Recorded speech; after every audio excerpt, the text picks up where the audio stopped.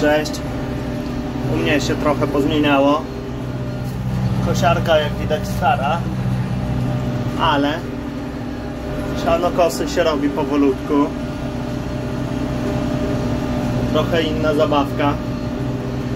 Zgadnijcie co to może być. Pokażę Wam tak w środku. Wszystko fajnie.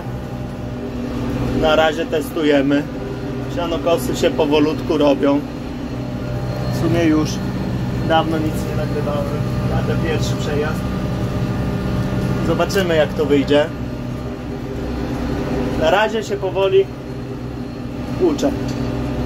Także gospodarstwo się rozwija. Oby tak dalej.